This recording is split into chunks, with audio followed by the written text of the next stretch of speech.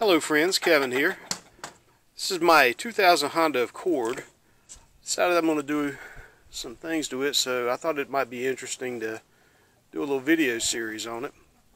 I bought that car used a couple years ago from a actual used car dealer. I really like the looks of that car. Decided I was going to hang on to it. I'll explain a little bit more about it, but the car has one major problem that is not the clear coat that you see on most of these cars. And here is the problem. It currently has no engine in it. I pulled that engine out a couple days ago, got it inside. Decided, you know, you don't see a lot of videos about this platform. The engine that was in this was the four cylinder, not the six cylinder version of this. So that's what this is going to be. My wife has quite a bit of quite a few chickens and roosters, so they're very loud. You'll probably hear them inside and out throughout the course of this. But let me take you inside and show you what we got going on.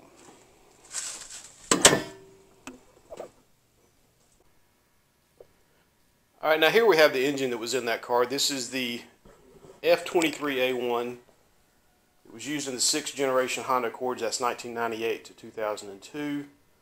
Single overhead cam VTEC inline four, 150 horsepower. When I started to notice I was having a problem with this car, it began with it using water. I'd have to put water in it about once a week. Then as the summer wore on, it started to blow through the overflow, the radiator overflow, parking it just be hissing. And I knew all these were probably a symptom of a blown head gasket. So what I've done is taken the engine out of the car, not just for the head gasket, I'll explain some other things that were going on with it as well. Got it on the stand, started tearing it down. They went pretty smooth. Once I got into the engine, this is what I see.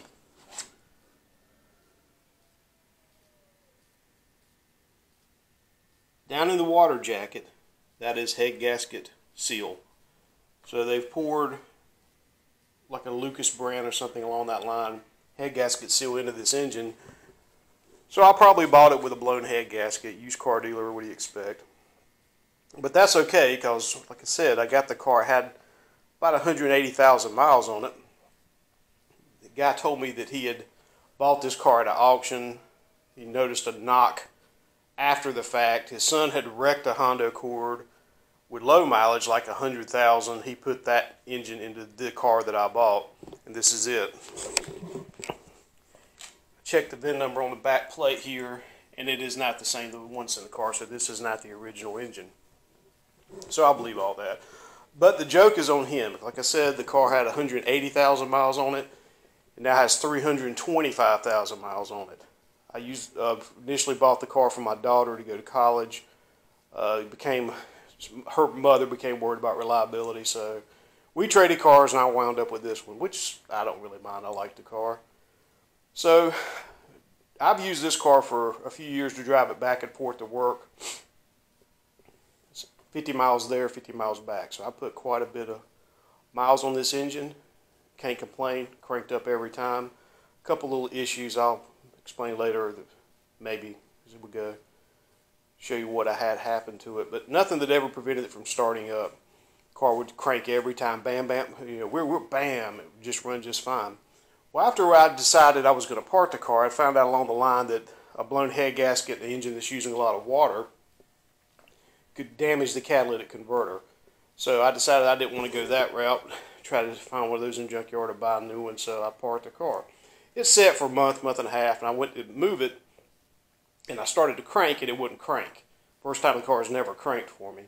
But when it was turning over, you heard the wow, wow, wow, wow, wow, wow, wow, wow, wow. So I knew at that point, yeah, we're down on compression, at least in one cylinder. But the thing was, the car ran fine never had an issue with it. I don't didn't notice a power problem. So that's what's got us here today. Show you some other things I've done to the this this gotten us to the point where I decided to take the engine out. First thing was that uh, a year ago, five-speed manual transmission, I replaced the clutch in the car. And you see the clutch is just fine. That still looks like a brand new clutch to me.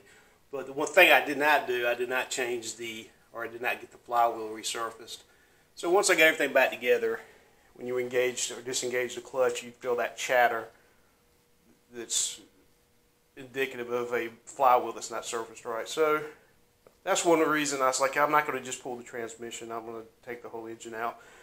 See another thing on top of the transmission, quite a bit of oil. The engine developed an oil leak out of the distributor. There's an O-ring that sits in there, and it just this was clean a year ago, and you can see how bad that is now.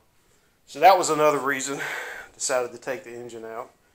And the main one was up here on the front. When you would jack up the right side of this car, it would, I mean, oil would literally dump out the side of the engine.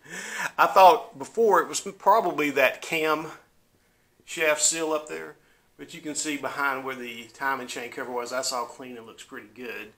So what we were dealing with was most likely a front main seal. So that's got to be replaced. I had another leak at one point. There's a whole other story there that, that had uh, caused a VTEC uh, code on the uh, check engine light. But I replaced the oil pan gasket when that happened. So that's all good. So I know it's probably that front main seal that's leaking. So what I decided to do at that point was get onto Amazon.com and see what they had as far as rebuild kits for this type of engine. And this is what I wound up with. Companies, I forget the name, I'll try to find it here in a minute, had this complete kit for an engine rebuild for this car. I'll show what it comes with. Both of the belts for the uh, the camshaft and the, um, the timing belt and the oil pump. All your tensioners that you need. In this box is a brand new oil pump, new water pump. also have a complete bearing set here your rod bearings, thrust bearing, crank bearings. All new pistons, wrist pins, rings. These, these go beside the hold the wrist pin into the piston. And brand new pistons. All this is no performance parts at all. These are all just standard specs. And it came with a complete gasket kit for the car. It's a head gasket here. It's a multi, was it multi-level multi-steel or something, multi-layer steel. It's got like gas material top, bottom. It's got steel insert in the middle. It's like my oil pan. Some stuff that goes along with that. And then there's a valve cover, all the intake, exhaust, everything. I bought one of these kits before for a D15. Had everything. Everything works just fine. So that's what this series is going to be about. The next video is going to be me tearing apart this head. I'm going to check the clearances on the deck, pull all the valves, clean them. It's got new, uh, should have new valve seals in there as well. Install those. So I'll show you exactly what goes into disassembling this and cleaning everything up and reassembling. I hope this is going to be interesting to you guys. Be sure to like and subscribe and I will have some more videos up in the future. Thank you.